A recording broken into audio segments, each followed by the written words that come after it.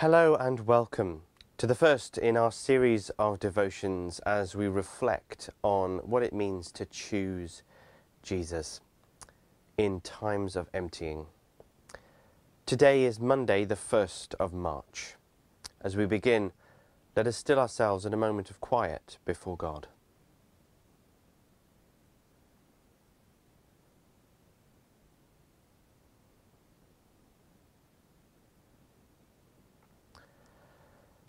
And our prayer for this week. Almighty God, you see that we have no power of ourselves to help ourselves. Keep us both outwardly in our bodies and inwardly in our souls, that we may be defended from all adversaries which may happen to the body, and from all evil thoughts which may assault and hurt the soul. Through Jesus Christ our Lord. Amen. The reading today is Colossians chapter 3 verses 1 to 11. So if you have been raised with Christ, seek the things that are above, where Christ is, seated at the right hand of God. Set your minds on things that are above, not on things that are on earth. For you have died, and your life is hidden with Christ in God. When Christ, who is your life, is revealed, then you also will be revealed with him in glory. Put to death, therefore, whatever in you is earthly fornication, impurity, passion, evil desire, and greed, which is idolatry. On account of these, the wrath of God is coming on those who are disobedient. These are the ways you once followed when you were living that life. But now, you must get rid of such things anger, wrath, malice, slander, and abusive language from your mouth. Do not lie to one another, seeing that you have stripped off the old self with its practices, and have clothed yourself with the new self, which is being renewed in the knowledge according to the image of its Creator. In that renewal, there is no longer Jew and Greek, circumcised and uncircumcised, barbarian, Scythian, slave and free. But Christ is all and in all.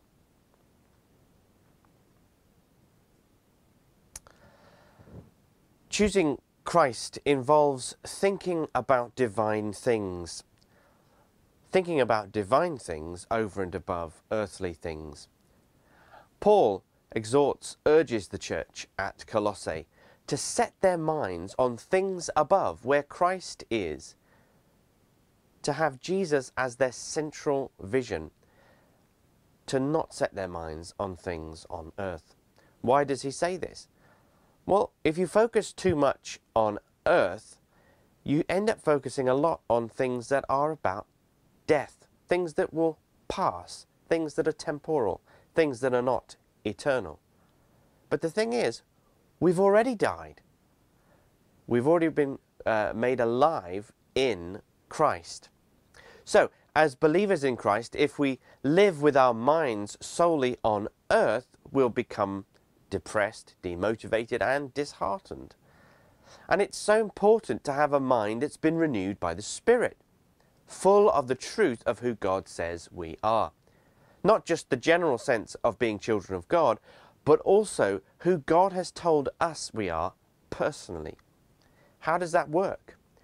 The best way that I've discovered this is through the gift of prophecy. If people have given you prophetic words, God has told you who He thinks you are and how He sees you. Now, if you've never received a prophetic word from God, then call me up and we'll remedy that immediately. If we're not thinking heavenly things about ourselves, or the world, then we're simply thinking earthly. And that is simple as that. But Paul seems to suggest here that we need to have a renewed mind. He doesn't say, sorry, Paul says, don't follow the early customs uh, that you used to be, like when you weren't Christians, but be transformed by the renewing of your mind. And he says that in Romans 12. And we can renew our minds by quoting the truth of who we are over ourselves every day, the truth of who God is to us every day. God says, I'm one with Him. I'm forgiven. I'm adopted as a child of God. I am loved and blessed with every uh, spiritual blessing. I'm a new creature in Christ. And as we quote the truth of ourselves uh, over over ourselves in the you know in the day, our mind begins to come into agreement and alignment with the truth of who we really are. So while the pandemic has meant more time at home, perhaps God has wanted to use that time and wants to use the remainder of time we have, because we have a few more months. Perhaps God wants to use this time to learn the way He thinks of us, to learn the way He views the world. So, choosing Christ for us then means learning to think the way God thinks about us and about the world. We'll spend a few moments thinking about these things for ourselves.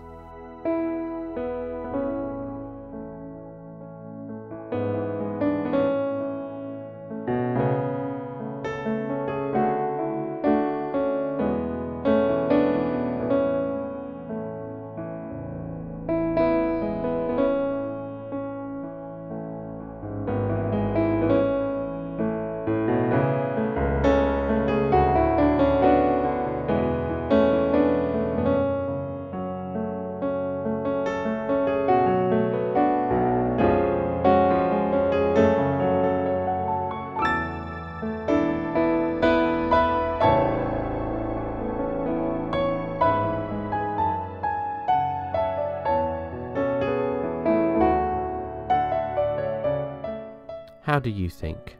With divine purpose or earthly ideas?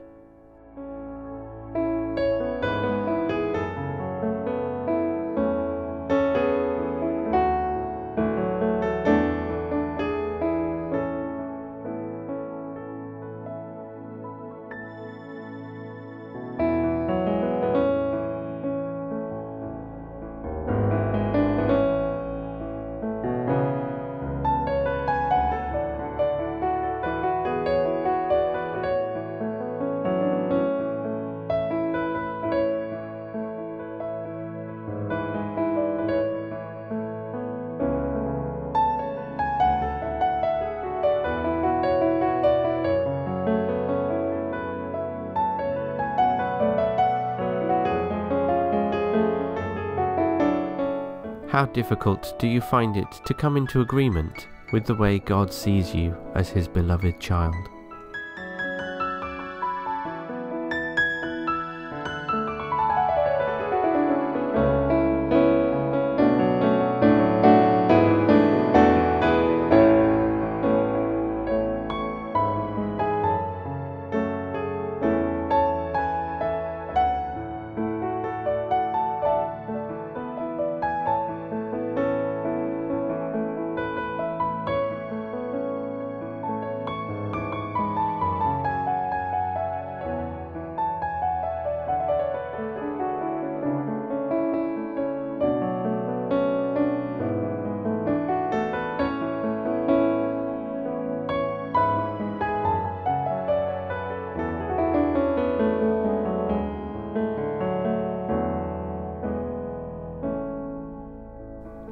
What might you do to think more with God's purposes in mind?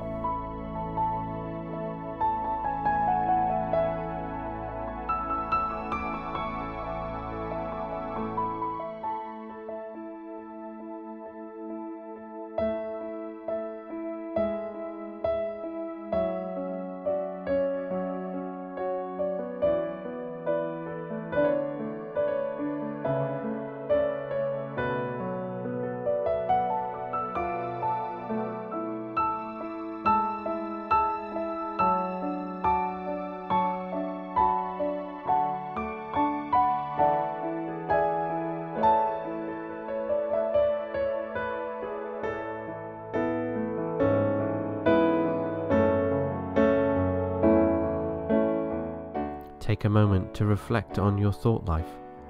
Give it to God and ask Him to tell you who you really are and how He sees you.